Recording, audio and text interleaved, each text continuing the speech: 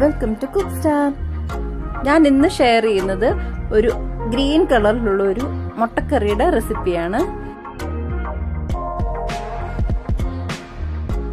ആദ്യം തന്നെ ഒരു നാല് സവോള നീളത്തിലരിഞ്ഞത് ഒരു പാത്രത്തിലെടുത്തിട്ട് അതിനകത്ത് കുറച്ച് ഉപ്പും ഒരു ടീസ്പൂൺ വെളിച്ചെണ്ണയും കൂടെ ഒഴിച്ചിട്ട് നല്ലതായിട്ടൊന്ന് ഞരടി വെക്കും.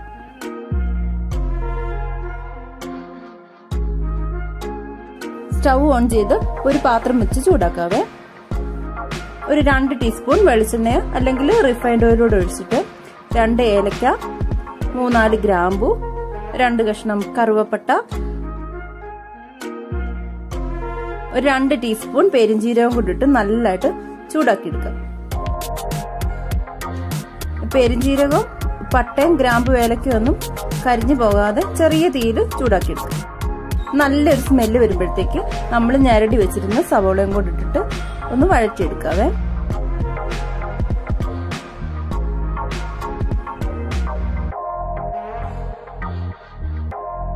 സവോള ഒന്ന് വെന്ത് വരാനായിട്ട് രണ്ട് മിനിറ്റ് അടച്ചു വെക്കാം.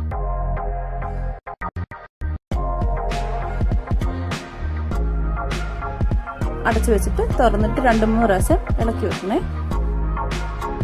സവോളയൊക്കെ ഒന്ന് വാടി വരുമ്പോഴത്തേക്ക് എരിവിനാവശ്യത്തിനുള്ള രണ്ടോ മൂന്നോ പച്ചമുളക്. ഞാൻ നല്ല എരിവുള്ള പച്ചമുളകാണ് എടുത്തിരിക്കുന്നത്. കാൽ ടീസ്പൂൺ മഞ്ഞൾപ്പൊടിയും കൂടെ ചേർത്ത് ഒന്നുകൂടെ വഴറ്റിയെടുക്കുവാണേ.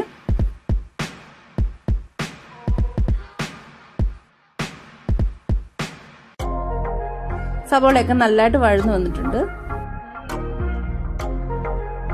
ഇനി അതിനകത്തേക്ക് ഒരു ടീസ്പൂൺ ജിഞ്ചർ ഗാർലിക് പേസ്റ്റ് ചേർക്കുവാണേ.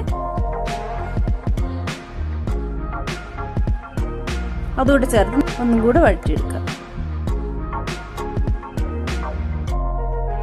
ഇഞ്ചിയും വെളുത്തുള്ളിയുടെ എല്ലാം പച്ചമണം പോകുന്നോടം വരെ വഴറ്റിയിട്ട് രണ്ട് ടീസ്പൂൺ മല്ലിപ്പൊടിയും കൂടെ ചേർത്തിട്ട് ഒന്നുകൂടെ വഴറ്റിയെടുക്കുക.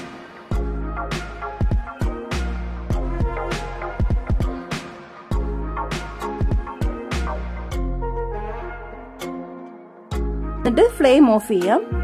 എന്നിട്ട് അതേ ചൂടിൽ തന്നെ നമുക്ക് ഗ്രീൻ കളർ കിട്ടാൻ വേണ്ടി ഒരു പിടി ഒരു അരപ്പിടി പുതിനയില ഒരു അരപ്പിടി മല്ലിയില ഒരു മൂന്ന് ടീസ്പൂൺ തേങ്ങ ചിരണ്ടിയതും കൂടെ ഇടാം.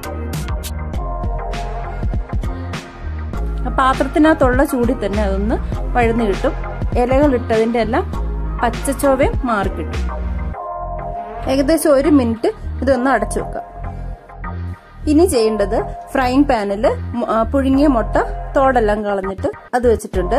എന്നിട്ട് ഒരു നുള്ളു മഞ്ഞൾപ്പൊടി കുറച്ച് കുരുമുളക് പൊടിയും കൂടി ഇട്ടിട്ട് ഒന്ന് ചൂടാക്കി വഴറ്റി വെച്ചിരുന്ന മസാല മിക്സിയുടെ ജാറിനകത്ത് ഇട്ടിട്ട് കുറച്ച് വെള്ളവും കൂടി ഒഴിച്ച് നല്ലതായിട്ട് അരച്ചുകൊണ്ട് വരാം.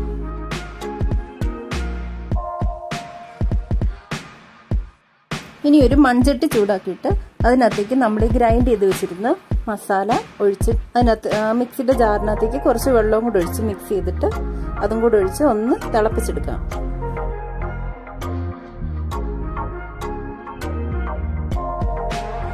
ഇതൊന്ന് തിളച്ച് വരാനായിട്ട് അടച്ചു വെച്ചിട്ടുണ്ട്.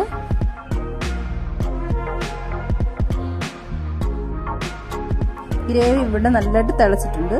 ഇനി അതിനകത്തേക്ക് നമ്മൾ പുഴുങ്ങി വെച്ചിരുന്ന മുട്ട റോസ്റ്റ് ചെയ്തത് ഓരോന്നോരോന്നായിട്ട് ഇടാം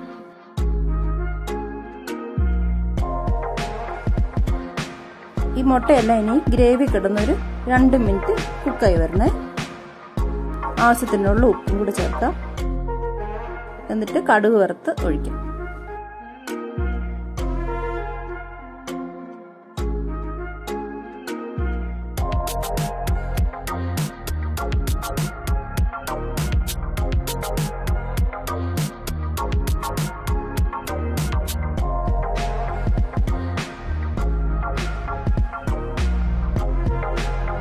കുറച്ച് കറിവേപ്പിലയും കൂടെ അതിന് മേലിട്ടിട്ട് കുറച്ച് നേരം അടച്ചു വെക്കാം.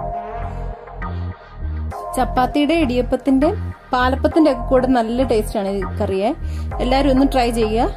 Thanks for watching